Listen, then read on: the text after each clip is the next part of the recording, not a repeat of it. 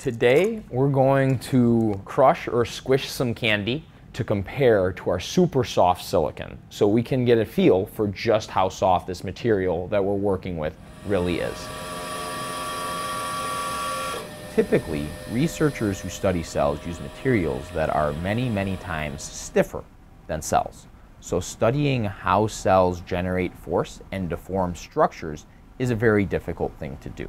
Hopefully in the future, this material and this fabrication process will study the spread of cancer throughout the body or the differentiation of stem cells into mature cells like muscle or bone cells.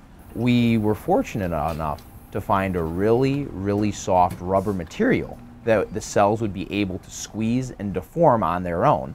But the problem was the material itself was so soft that it made molding the material in the types of shapes that we wanted extremely difficult.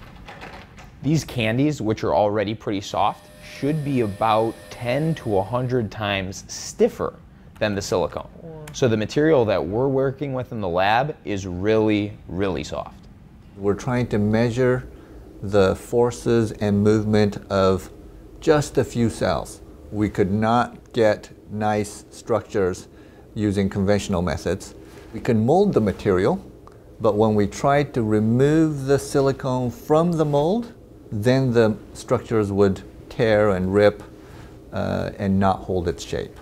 And so what we had to do was to come up with the mold that we didn't have to tear away, but would just dissolve away.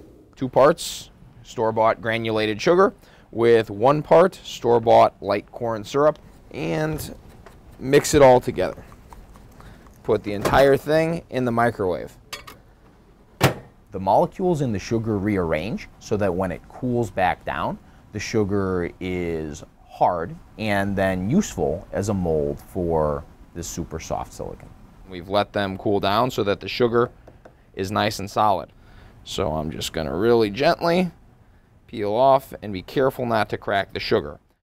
Now that we have our hardened candy mold, we're going to pour our soft silicon polymer. We only have a short amount of time to cast our mold. We're going to put the whole thing into the oven for about six hours or so, and that's going to cause the pre-polymer here to harden. We'll start with fresh water, and that'll just get the sugar to dissolve a little more quickly. Yeah, so this is the sugar part, and then this is super soft polymer with some black false color that I've added to make it easier to see. Sugar is uh, relatively inexpensive. It's uh, non-toxic, and candy, if we put it in water, it will dissolve away. We have a lot of diseases that we want to look at uh, using this method. It's definitely the best smelling research. I haven't actually tasted it, but it's probably the best tasting as well. They feel bad that they're having to prick the fingers of their kids four or five times a day. On average, you have about one teaspoon of glucose in your entire body. Put that into perspective. Try to measure